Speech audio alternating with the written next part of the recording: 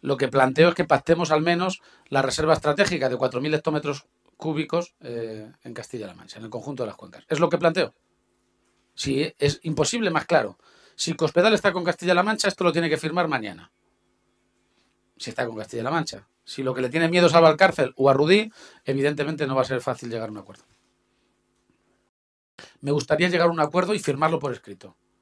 Estoy dispuesto, como secretario general del PSOE, a ceder posiciones. No hectómetros cúbicos, pero sí posiciones. Y yo quiero un plan hidrológico nacional. Y si para que haya un plan hidrológico nacional Castilla-La Mancha tiene que rebajar en algo sus expectativas, estoy dispuesto.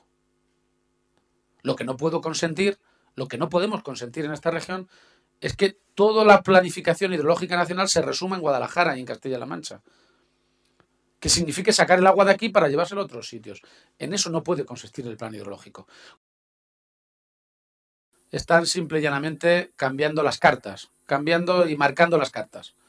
No vamos a aceptar la trampa, y por tanto vamos a plantear que el Gobierno y el Partido Popular en Castilla-La Mancha retire el precocinado que nos ha hecho electoral y que nos sentemos a discutir seriamente sobre una fórmula electoral que valga para siempre.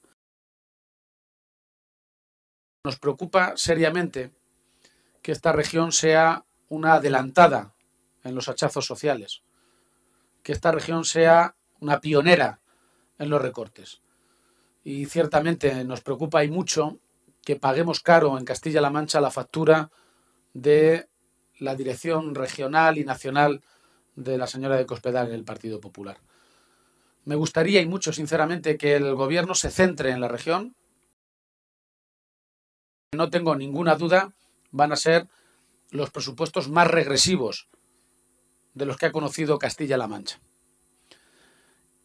Presupuestos que se van a basar en la coartada, en la gran coartada de la crisis económica, pero quiero que los ciudadanos sepan que el hachazo que Echaniz o Cospedal le están dando a la sanidad o el que le quieren dar a la educación es un hachazo que ya conocemos en tiempos de vacas gordas, porque lo ha hecho Esperanza Aguirre en Madrid o lo ha hecho el Partido Popular en Valencia.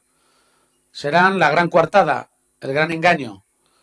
Si hay algo por lo que se está caracterizando el gobierno de Cospedal es por hacer exactamente, exactamente, ¿eh?